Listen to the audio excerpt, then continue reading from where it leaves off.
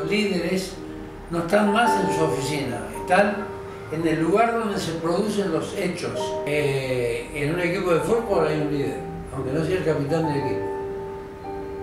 Eh, después, si alguien tiene cualidades de líder, se, le, se los perfecciona. Por eso nace y se hace, las dos cosas.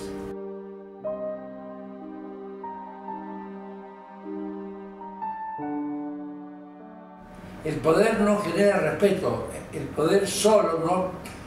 Lo que genera respeto es la autoridad. Cuando uno se gana la autoridad a través de la admiración de los seguidores. Cuando los seguidores cuando lo ven trabajar a uno y uno da el ejemplo, el líder tiene que dar el ejemplo.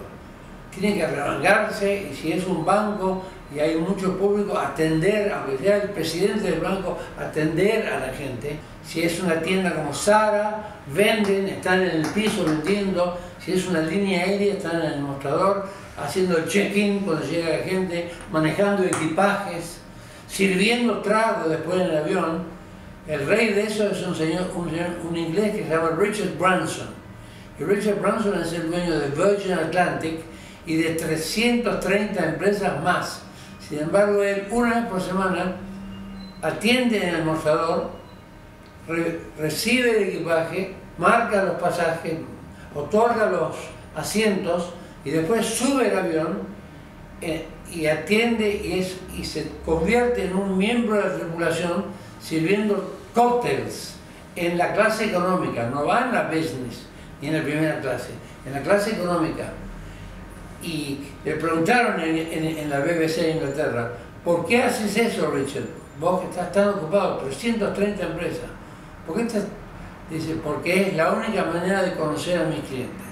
Por algo es que en, en, Latinoamérica de cada 100 empresas familiares, solamente 6 o 7 llegan a la tercera generación.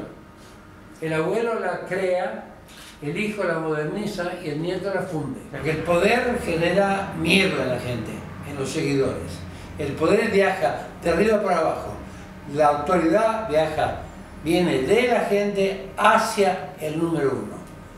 El poder es del número uno a la gente. Viajan al revés. Poder da en la gente miedo, temor. La autoridad genera confianza, cariño, respeto, aprecio y tiene que ser humilde, tiene que saber, tiene que escuchar el doble de lo que habla tiene que ser un gran escucha, porque en las cuatro actividades de comunicación que tenemos en la vida, que es escribir, leer, hablar y escuchar, lo que peor hacemos es escuchar. Somos muy malos escuchas. En general alguien nos está hablando y cuando ese alguien está en la mitad de su frase, lo interrumpimos. Suscríbete al canal para ser el primero en recibir todas nuestras noticias.